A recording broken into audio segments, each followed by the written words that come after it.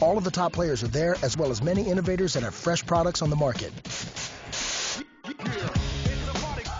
Testing your tire pressure at the track has never been easier with the help of JSC Engineering.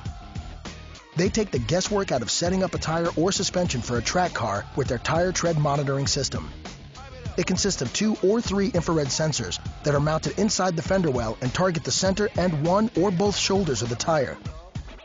As the driver goes around the track, the system logs the maximum temperature of the tire around the course of the lap and the time and the distance that the maximum temperature occurred. Now this helps set up uh, either the temperature, uh, the pressure of the tire or the suspension to get a nice even distribution of temperature across the face of the tire. This obviously helps in uh, traction and handling and uh, could help prevent premature tire failure on the track. The remote control feature allows the user to either define a window of time that the temperature is monitored or push a button to monitor a specific area on the track.